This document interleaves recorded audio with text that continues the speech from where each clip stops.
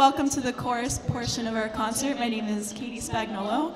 Um, I teach fifth grade chorus and sixth and eighth general music at Sanford Middle School. Uh, raise your hand if you were just on stage with the band, nice and high.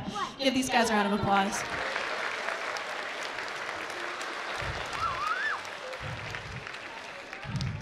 These kids are like some of the most organized people in the world. They are right on top of it. We're very, very proud of them. But enough for me from now. We're going to get singing.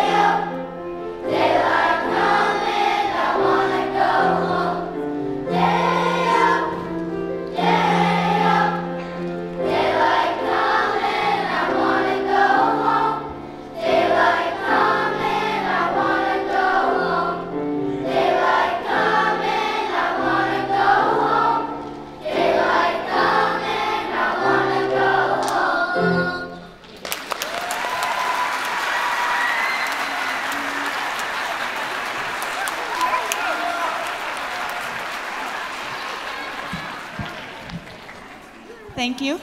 That was the Banana Boat song. Some of you may recognize from the movie Beetlejuice. Um, before we sing our last piece, I just wanted to give you a little bit of a backstory of how we came to choose this piece. So, um, obviously, they're in fifth grade, and a big part of being in fifth grade chorus is fostering a love of singing and building confidence. So, for me as the chorus teacher, that means choosing pieces that I could use as a learning tool, but also, um, you know, songs that they want to sing. And there's this really, really awesome chorus out of New York City and Staten Island called PS22 Chorus.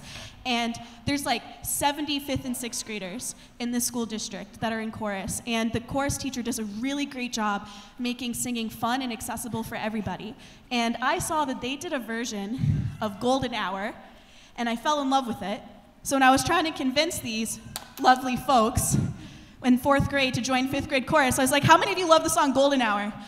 And they were like, I do. And I was like, We're gonna do it. And they're like, Okay, I'm in. And then I was like, I gotta find a piece of music for this. So then I was trying to find an arrangement, couldn't find one. And then I was on YouTube and I found an arrangement by this composer named Emily Drum.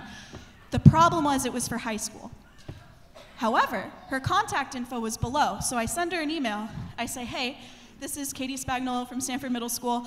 I would really love for you to write an arrangement of Golden Hour for my fifth grade chorus students. And she was like, okay, I'm down. So, this next arrangement that you're going to hear was written specifically for the students that are standing behind me. Yeah, that's pretty awesome.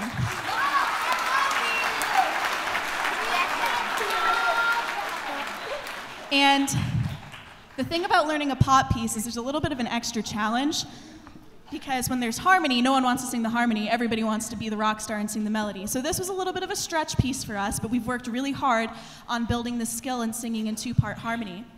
And uh, last but not least, I wanted to say that it has been an absolute pleasure to teach your children for the last two years. And um, they are the highlight of my day. I tell them that every single day when I see them, don't I? Every time I see you, I tell you. Yeah. That's true, I do. Yeah. Yeah. So, um, and thank you so much for supporting their desire to be a part of the performing arts. Even if they never say thank you, I'm, I'm speaking from my own experience. I can tell you that your support matters a lot. Um, and last but not least, before we sing, thank you for your patience. Um, after the concert, all of the band and chorus students will go back to our two rooms back here. They will pack up their things, and we are asking families to meet us in the lobbies out here. And with that, let's get to golden hour.